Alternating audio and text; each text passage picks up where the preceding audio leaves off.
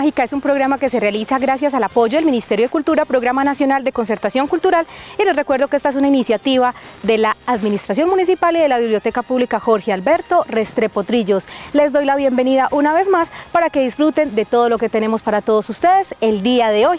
Bienvenidos, vamos a ver qué trae la Caja Mágica. Hoy en Caja Mágica esperen la biografía del escritor español Roberto Aliaga, en nuestro cuento de la semana escucharemos Cuento de Noche, que será compartido por la docente Natalia Cardona. Se trata de una magnífica historia sobre los sueños. Espera nuestra útil sección de reglas ortográficas. En mismo nuestra invitada es Adriana Ortega. Ella nos enseñará a realizar una lámpara de techo en material reciclable. En una de las sesiones más deliciosas de Caja Maica, creando y cocinando, nos deleitaremos con un delicioso postre de limón. Y nuestro recomendado literario llega gracias a Juan Fernando Ortiz, que nos hablará del libro Historias de Gigantes. Y en el escritor de la semana tenemos a Roberto Aliaga, quien nació en Alba, España en 1976. Biólogo y escritor de literatura infantil, a partir de la buena acogida de crítica y público de Cactus del Desierto, ha seguido escribiendo y publicando a buen ritmo. Su producción se centra sobre todo en el álbum ilustrado, aunque también es autor de novelas como la serie Entre Sombras, pero siempre dirigidas a un público infantil. Sus obras han sido traducidas a 12 lenguas, catalán, gallego, euskera, inglés, francés, portugués, italiano, alemán, turco, japonés, coreano y polaco. En el 2008 obtuvo el premio Lazarillo del álbum infantil ilustrado por el libro El Príncipe de los Enredos. En el 2009 fue incluido en la lista de los cuervos blancos de la Biblioteca Internacional Juvenil en Múnich, Alemania, por el libro Cactus del Desierto. En el 2012 obtuvo el primer puesto en el 31 concurso de narrativa infantil Vila del Ayuntamiento de IBI, Grupo Anaya por Cuando Oscar se escapó de la cárcel. En el 2013, el libro Cuento de Noche con ilustración de Sonja Wimmer se llevó una medalla de plata. Premio de Libros de Editores Independientes, Michigan, Estados Unidos. Dentro de sus obras más destacadas tenemos Un reloj con plumas, El novio de la bruja, Cocodrilo, Pingoreta y El tiempo. Y también los invitamos entonces a disfrutar del cuento de noche a cargo de la profesora Natalia Cardona el cuento de la semana.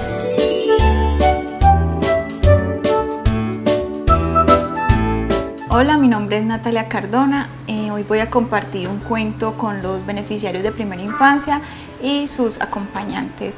El cuento de noche de Roberto Aliaga. Cada noche, antes de dormir, ella se sienta en mi cama con un montón de cuentos entre las manos, los tiene todos. Me coloca las mantas bajo la barbilla. Elige uno al azar y con voz suave comienza a leer. Al instante, palabras e imágenes transforman mi habitación porque en sus cuentos yo siempre soy el protagonista. Hay cuentos dulces como aquel en que vamos a visitar la feria de la ciudad. Subimos a la noria y ella me compra algodón de azúcar. Los hay fríos, como el cuento en el que patinamos sobre el hielo, bajamos la nieve y tomados de la mano. Algunos cuentos son mágicos, como aquel en el que mi cama se posa sobre la rama de un árbol y ella me enseña a cantar y a volar. Otros son terroríficos. En un cuento sale una mano debajo de mi cama y me estira las sábanas.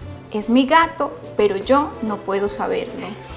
Hay cuentos divertidos, como aquel en que nos disfrazamos jugando a ser quienes no somos, pero nos gustaría ser.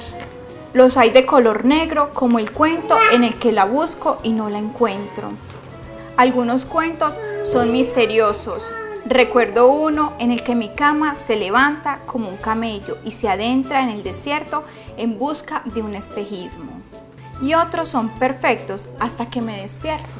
Antes de dormir, la noche se sienta en mi cama, con un montón de sueños entre las manos. Los tiene todo. Me coloca las manos bajo las barbillas, elige uno al azar y con su voz suave comienzo a soñar.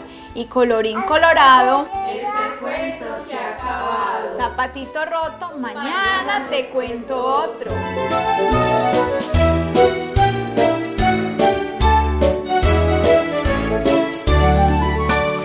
Vive mil vidas antes de morir. Quien no lee solo vive una sola. Los invitamos a disfrutar de la regla ortográfica aquí en Caja Mágica.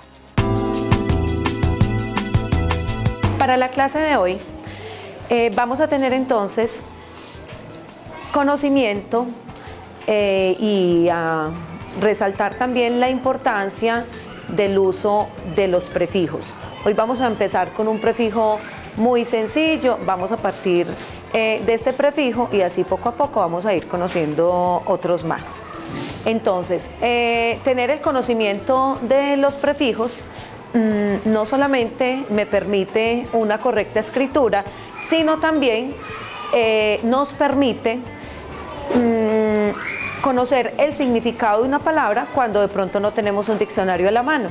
Entonces, partiendo del conocimiento del prefijo, podemos dar el significado y entender mejor un texto eh, que queramos interpretar. Entonces para hoy tenemos bi, bis y bis con z, que significa dos o dos veces.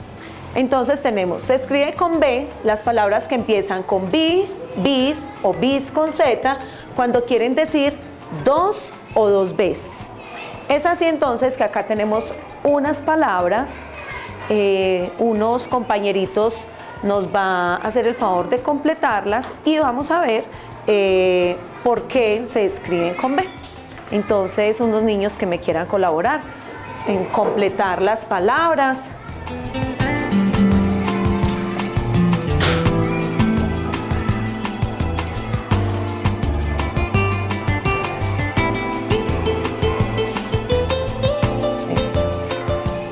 Muy bien. Alguien que por favor nos explique por qué escribimos con B. B significado, que bilingüe significa alguien que maneja dos idiomas.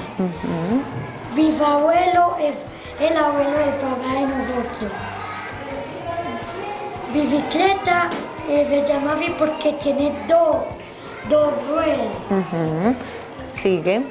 Bicolor significa dos colores bifílabas, dos sílabas y así sucesivamente. Muy bien. Entonces, como les explicó Cristian, todas estas palabras se escriben con B porque este prefijo, esta parte de la palabra que va antes, significa dos o dos veces, así como se los explicó Cristian. Muy bien. Eh, continuamos entonces, Juanita, haznos el favor entonces, vamos sacando conclusiones. ¿Qué más podemos decir? También hay otras palabras que comienzan con bi, bis o bis con z, ya sea con b o con b. Y no significan dos. Por ejemplo, billete, villano, visita, biología, biografía, bisturí, vitamina, víbora, bisiesto y vidrio. Ustedes pueden ver que todas estas palabras comienzan por bi, pero este bi no significa dos. Esperamos entonces que sea eh, muy práctico eh, la clase de hoy en sus casas para que padres de familia, estudiantes, lo pongan en práctica y así cada día eh, podamos tener una correcta escritura, una excelente comprensión y una muy buena redacción. Nos vemos en la próxima clase.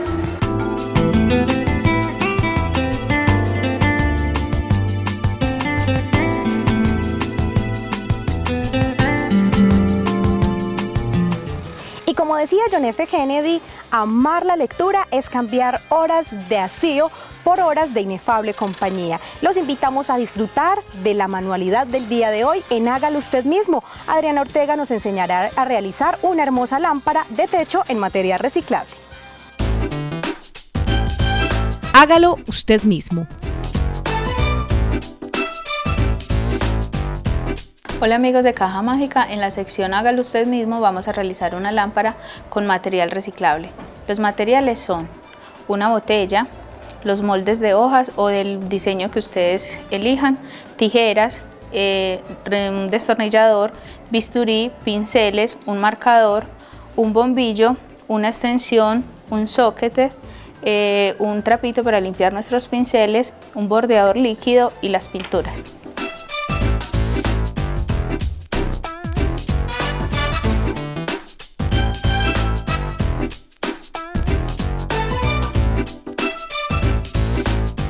Para iniciar con nuestra manualidad vamos a tomar la botella y la vamos a, perforar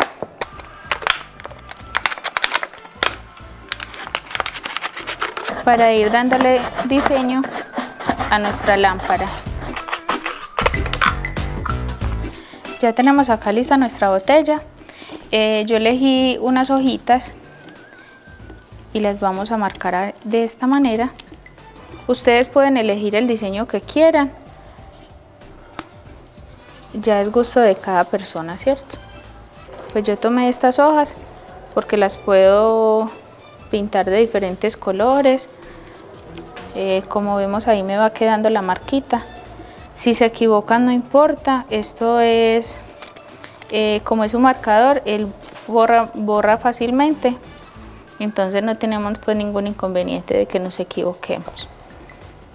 Si tienen la habilidad de hacerlo pues sin, sin la hojita, sin, sin el moldecito también lo pueden hacer y ya lo vamos, lo vamos llenando así todo el tarro para que nos vaya dando la forma.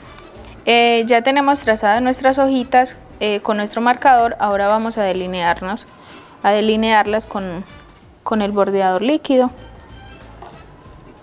Si nos quedan, bueno, nos tienen que quedar derechas. Entonces presionamos fuerte y le vamos dando forma a las hojitas. Recordemos que no nos pueden quedar los espacios sin bordear porque si no se nos va a salir la pintura. Marcamos así todas las hojitas para que le vamos dando forma a nuestro diseño y ya después le podamos dar el color que, que nosotros queremos.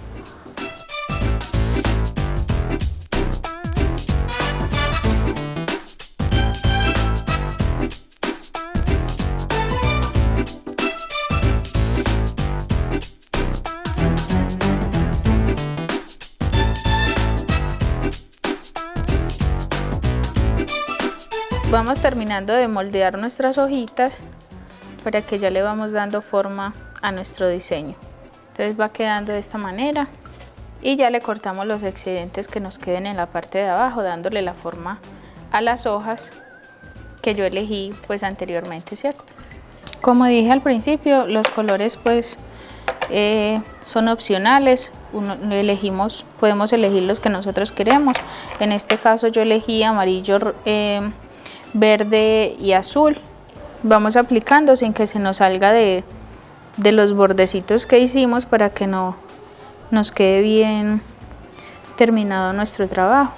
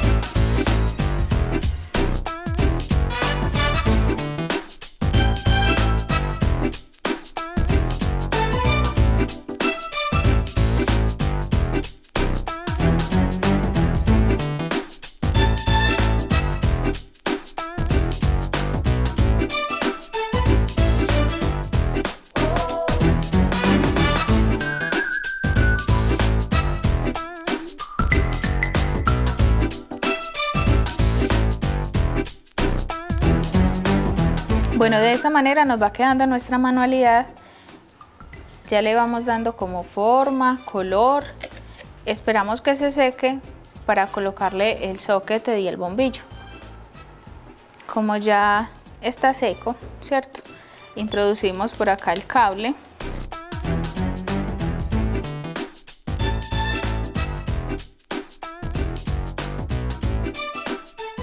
Con la ayuda de nuestro destornillador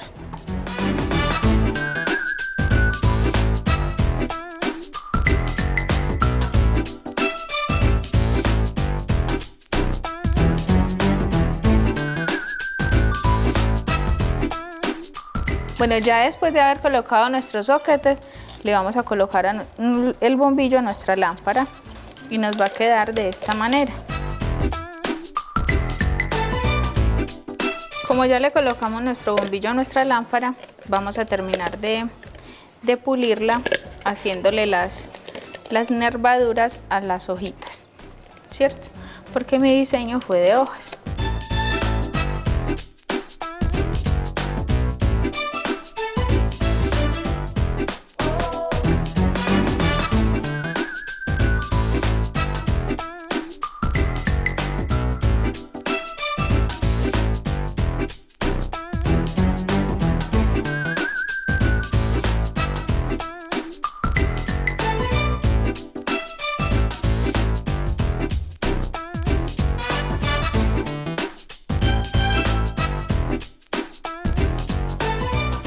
Bueno, amigos televidentes, eh, para hacerles una invitación muy especial, que vengan y visiten eh, la biblioteca, donde pueden encontrar diferentes libros de manualidades, eh, donde pueden hacer cosas así como estas, o ya pues el gusto de cada quien, lo pueden hacer de diferentes cosas, de flores, de, del diseño que, que quieran. Y acá en la biblioteca pueden encontrar diferentes tipos de, de libros, de manualidades, de recetas, de todo lo que ustedes quieran elaborar, acá lo pueden encontrar. De esta manera nos queda nuestra manualidad. Ya solo nos queda conectarla y mirar cómo nos quedó.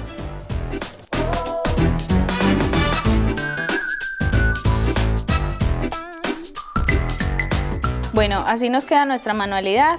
Eh, espero que la realicen y la practiquen en las casas.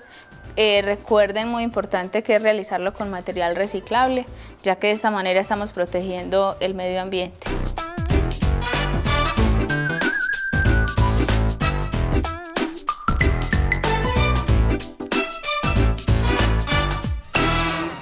Quien navega en el océano del conocimiento lo hace para salir del pantano de la ignorancia y llega a Caja Mágica una de las sesiones más apetecidas y que les gusta a nuestros amigos televidentes, creando y cocinando. Nuestra invitada Luzanis Díaz Llorente nos va a enseñar a realizar una deliciosa receta. Creando y cocinando. Bienvenidos una vez más a esta sesión Creando y Cocinando. Como siempre tenemos sorpresas para nuestros amigos televidentes a quienes les encanta esta sesión donde aprendemos a cocinar de una manera fácil, rápida y divertida. Hoy me acompaña una invitada muy especial, Luzanis Díaz Llorente, a quien le damos la bienvenida. Luzanis, muchas gracias por abrirnos la puerta de su casa y recibirnos aquí. Bueno, a ustedes muchísimas gracias por tenerme en cuenta y, y qué placer pues compartir con todos eh, esta nueva receta que hoy estoy con ustedes. Bueno, qué rico profe, para nosotros un placer tenerla en este programa. Y ahora sí, entonces vamos a contarle a nuestros televidentes qué es lo que vamos a realizar. Bueno, en esta ocasión vamos a enseñarles a nuestros televidentes una, un postre muy sencillo, se llama postre de crema de limón, es algo muy sencillito, solamente necesitamos el jugo de seis limones, eh, una taza de de leche condensada, una taza de leche, de crema de leche y, el zumo de los seis limones y la ralladura de unas cortezas de limón. Ah, bueno, esperamos entonces que hayan tomado atenta nota porque está súper fácil y sencillo. Profe, repitamos otra vez los ingredientes así rápidamente. Bueno, para este, esta receta alcanza para 6 mm, y 8 personas. Ah, listo, excelente. Bueno, entonces de todas maneras son 6 limones Tahití en ese momento son Tasty porque es el que mejor tiene aroma, una taza de leche condensada, una taza de leche, de crema de leche y el zumo de, los seis limones que ya tenemos aquí y, la ralladura de la corteza de dos o tres limones. Bueno, entonces manos a la obra, vamos a iniciar con la receta del día de hoy, este delicioso postre de crema de limón, Bueno, ¿cuál es el primer el procedimiento? Bueno, primero pues lavamos los limones porque como necesitamos las cortezas, entonces necesitamos que estén limpiecitas, entonces ya están lavaditos, entonces procedemos a partir los limones.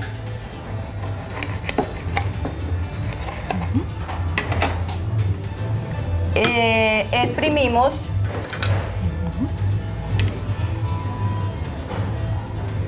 Profe, si yo no tengo limón Tahití en mi casa y tengo de pronto de otra, de, de otra descendencia, pues ¿qué, limón puedo utilizar? Eh, pues el limón mandarina también es muy bueno, pero entonces eh, es muy jugoso y ya el postre nos va a quedar muy más, más... Mm, Cargado mm, no, no cargado, más livianito, no va a quedar tan cremosito. Ah, pero también nos puede ayudar, pues también en una ocasión rápidamente nos puede servir ese limón.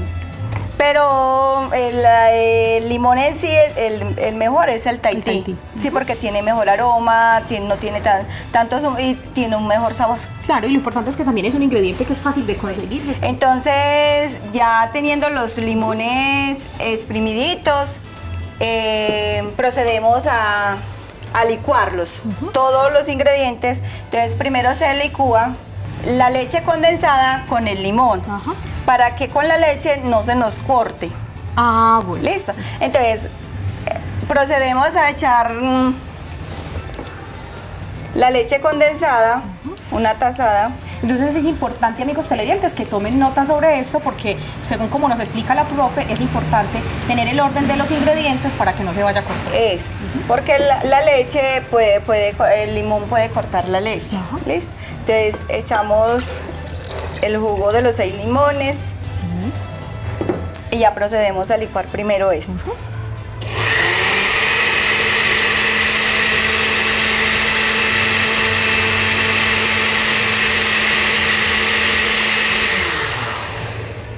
Bueno, cuando ya estos dos ingredientes estén bien licuaditos, procedemos a echar la crema de leche. Casi que todas las, porciones es por taza, ¿cierto? sí, es por taza. Para, seis o... Para seis o ocho personas. Y ya volvemos a, a licuar otra vez todos los ingredientes.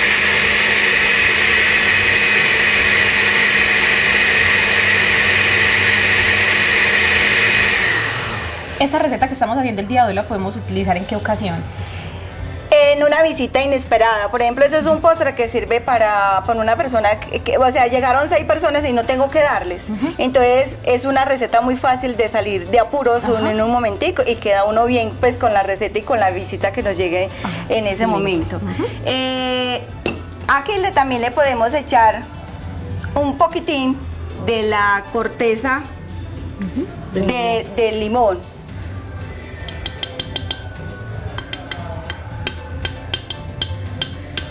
Y procedemos a, licuar nuevamente. nuevamente.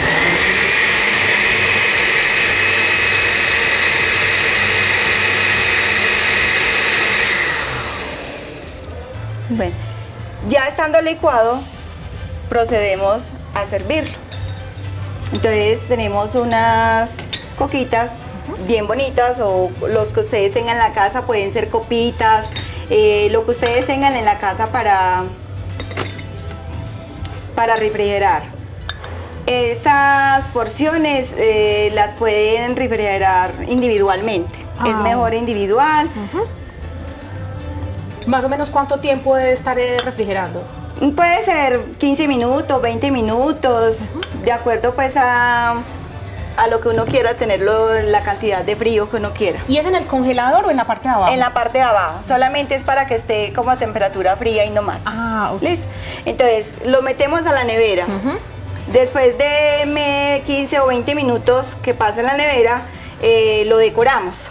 Bueno, entonces lo ingresamos a la nevera unos 20 minutos eh, para que esté mm, frito, porque llega como más fácil, entonces lo dejamos ahí 20 minuticos para que se refrigere un poco. Bueno, y continuamos acá en Caja Mágica creando y cocinando mientras nuestra receta está cogiendo con textura y se va refrigerando eh, en la nevera. Pues vamos a hablar un poquito con la profe Luzanis acerca de su vida, de su carrera, eh, cómo está actualmente. Eh, cuéntenos un poquito acerca de su familia, de sus hijos. bueno, yo tengo dos hijos. uno se llama José David Zuluaga Díaz está en sexto y Ana Lucía Zuluaga, que también eh, está estudiando, pues está en tercero. Y pues son mi vida, mi razón de ser. Esos son mis dos amores de mi vida, fuera de mi esposo. Bueno, sabemos entonces que tiene esa vocación de docente. ¿Cómo hace uno para para repartir ese tiempo en el que está con los hijos, comparte con la familia, pero que también tiene esos niños y esa responsabilidad? Bueno, eh, es algo difícil porque nos toca trabajar todo el día. Mi trabajo me requiere pues desde 8 a 5 de la tarde. Eh, es una labor muy linda. A mí toda la vida me ha gustado trabajar pues con los niños y, en ese momento tengo unos niños de 3 años de edad y sí, son mis amores, yo los quiero, yo les digo mis amores, vengan para acá, son pues a uno le llega y un más cuando uno ha sido mamá. Eh, yo creo que yo, las mamás de mis niños que tengo en mi salón, o sea, yo creo que se sienten bien porque yo siento que soy muy amorosa con ellos, les, o sea, si ellos se caen a mí me duele, como me dolieran mis hijos. Eh, pues a mí me ha gustado demasiado esa labor. Eh, después que salgo de allá, pues llego a la casa, sí medio descanso un poquito, hacer las tareas con mis hijos, eh, con Ana Lucía, pues que es un grado muy duro, que es tercero, pues de todas maneras ha sido muy duro para ella y, y pues ha tenido una profesora muy exigente, pero que ha aprendido mucho y José, pues el cambio del colegio, de la escuela al colegio le ha dado demasiado duro. Es un niño que necesita mucho acompañamiento, es un niño que, necesita que lo estén estimulando mucho.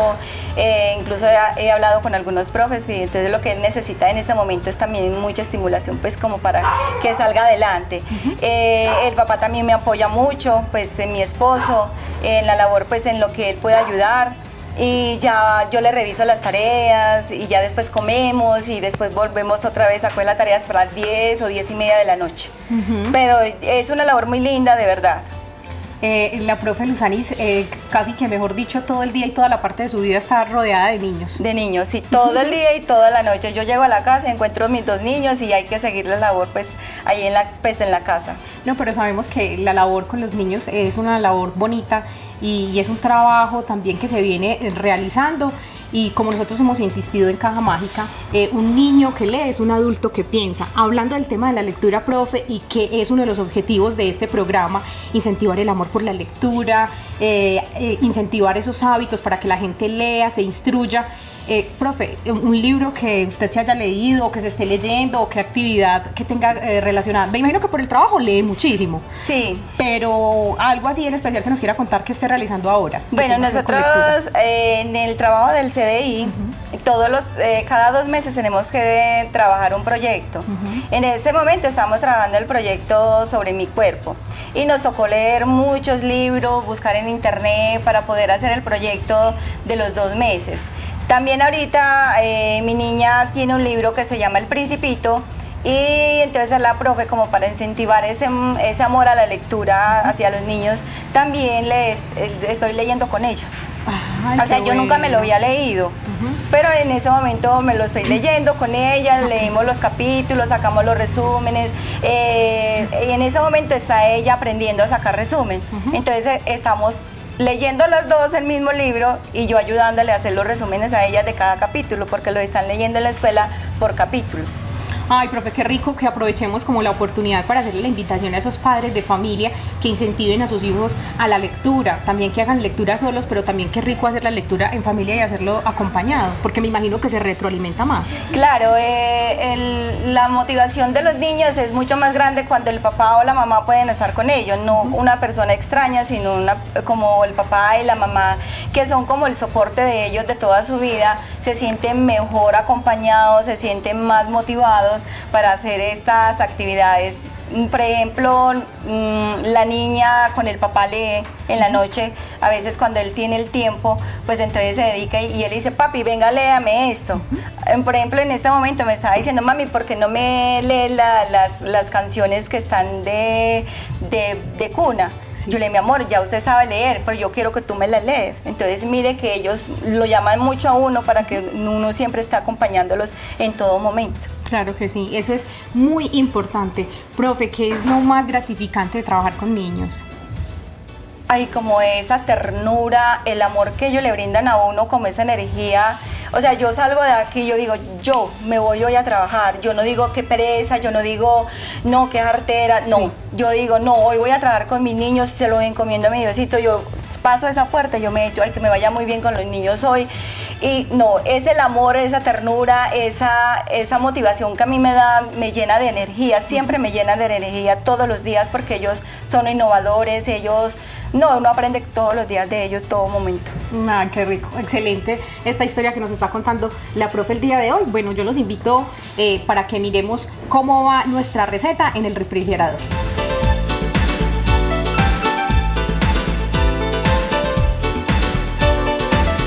Bueno, ya retiramos la receta del refrigerador y bueno, profe, ¿qué tenemos entonces acá?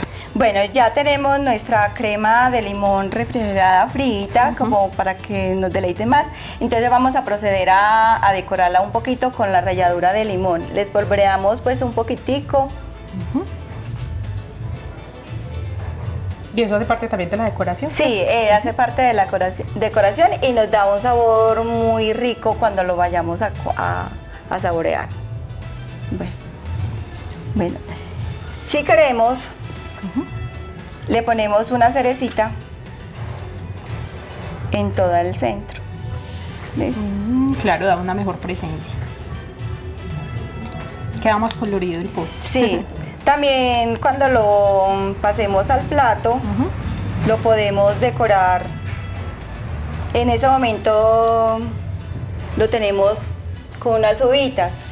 Pero también lo podemos decorar con todos los frutos del bosque, que son lo que es la, la mora, eh, la cereza, eh, por ejemplo, las fresas. Ya cada cual lo decora a su, gusto. con tal de que quede como, como una presentación bien linda y, y no quedamos mal en una visita que tengamos en nuestra casa. Claro que sí. Y siempre hemos dicho pues acá en Caja Mágica que lo más importante es la creatividad. Exactamente, entonces eso es lo que a mí me gusta porque yo soy de las que pongo un poquito más de la receta que yo he aprendido. O sea, es esta vez la hago así, la próxima vez le pongo esto y siempre me toca, me gusta pues estar cambiando porque una de las cosas que también me gustan es cocinar. Bueno, ya para ir finalizando entonces con la receta del día de hoy, profe, hacerle la invitación usted misma a los padres de familia para que incentivemos a los niños ese amor y ese hábito por la lectura. Bueno, eh, yo invito pues a los padres de familia que acompañen a todos sus niños y niñas eh, en el proceso de la lectura, en todo momento, en sus cuentos, no solamente se leen cuentos, sino adivinanzas, eh, retaílas, todo eso ayuda a que el niño también se motive mucho y estimule mucho su vocabulario y salgan siempre adelante porque la lectura es lo principal para el ser humano y, y nos ayuda a crecer en todo momento. Bueno, y aprovechando la invitación de la profe, pues yo también quiero aprovechar el espacio para invitarlos a que participen en todos los programas que se realizan desde la Biblioteca Pública Jorge Alberto Restrepo Trillos de nuestra localidad. Todos estos espacios de participación ciudadana que son de nuestros televidentes. Profe, muchísimas gracias por abrirnos la puerta de su casa, por habernos acompañado el día de hoy con esta receta. Eh, agradecidos y felices de haberla tenido en nuestro programa. Bueno, a ustedes muchísimas gracias y de verdad aquí estoy para lo que necesiten. bueno, nuestros amigos televidentes, los invitamos a que sigan conectados con Caja Mágica. Yo voy a deleitarme y a disfrutar con el delicioso postre, esta crema de limón que nos, nos preparó la profesora Luzanis el día de hoy. A ella muchísimas gracias y a ustedes los invitamos a que continúen en sintonía.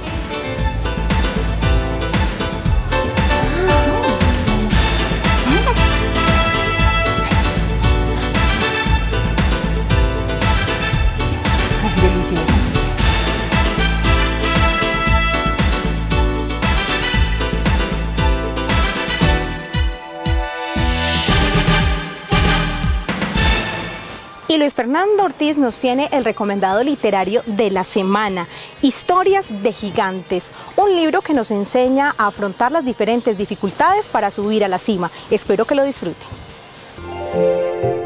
El recomendado de la semana.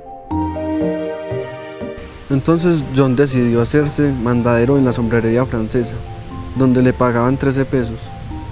Un día se dijo, mandadero no más, voy a ser empresario voy a romperle el cuello a la pobreza. Hola, ¿cómo están? Mi nombre es Juan Fernando. El día de hoy les vengo a, presentar un libro que se llama Historias de Gigantes, que es hecho e impreso por la editorial Planeta. El libro es muy interesante para aquellas personas que están pensando quizás en, un futuro montar una empresa quieren volverse en actores, fotógrafos o quieren hacer algo en particular con su vida. Las historias que hay aquí son muy interesantes porque le enseñan a uno y le muestran las historias o vivencias que ellos tuvieron, que no fueron fáciles, por así decirlo. Hay unos que empezaron desde muy abajo, hay otros que por cuestiones de la vida no tuvieron un padre que los aconsejara y que los llevara más adelante. El libro en particular hubo una historia que me gustó mucho, que fue la de Mario Hernández, que él desde muy pequeño se le dio los dotes de emprender, de montar su empresa, lo cual para esto tuvo que, dejar muchos, tuvo que hacer muchos sacrificios. Uno de ellos fue el dejar a la mujer que amaba para poder emprender su empresa. Eh, pero a futuro fue recompensado y en el actual momento tiene a su esposa que le colabora mucho en lo que tiene que hacer con la empresa, le ayuda, lo aconseja en medio de este campo empresarial. Entre estas historias está la de Fernando Botero, que debido a las vivencias que, que tuvo, empezó a plasmar sus historias en pinturas y en esculturas. Tenemos la historia de, de Cuero, que es un joven que tuvo unos padres que no terminaron bachillerato, pero que él por fuerza y por culpa de una enfermedad que mató a su hermano, me impulsaron a investigar sobre esto y ahora mm, trabaja para la NASA. Entre estas historias tenemos la de un actor muy famoso de Hollywood que se llama John Leguizamo. Este personaje tuvo una peculiar historia en la cual en sus años de juventud se estaba como desviando por el mal camino, estaba empezando a ingresar a bandas, a robar, entonces lo cual hizo que pensar en sí mismo en cambiar y empezar a meterse por el lado de la actuación y lo cual tuvo muy buen final por lo que él empezó a actuar frente a películas muy famosas y en películas animadas presta su voz. La razón por la cual eh, llegué al libro fue por mi gran capacidad de emprender, de empezar a futuro y crear mi propia empresa. Eh, entonces en la, a la visita a la biblioteca me encontré con este libro que estaba en la parte frontal de, la entrada, lo cual me llamó la atención porque tiene que ver, o me llama mucho la atención lo que tiene que ver con historias de personas emprendedoras. Yo recomendaría este libro porque hay historias para cada persona, hay personas que queremos ser empresarios, otros queremos ser pintores, hay otros que quieren ser actores, y en fin, sería una buena experiencia para empezar a emprender nuestro futuro. Mi invitación para las personas es que se acerquen a las bibliotecas más cercanas y busquen libros que tengan que ver con sus aficiones, con sus ideales, que busquen consultas en internet que también sirve para mucho. Y para esas personas que quieren emprender, les quiero dar un consejo de que no se rindan ante la primera dificultad, sino que traten de abrir puertas, que es lo mejor que puede hacer uno, en vez de ponerse uno a lamentar, a decir que no me va a funcionar las cosas. Sería mejor tener una actitud positiva frente a las dificultades.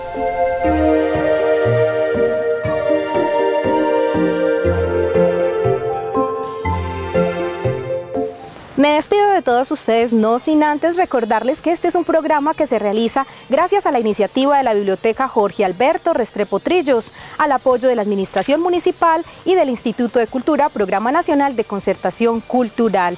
Les recuerdo también que un niño que lee es un adulto que piensa. Hasta pronto.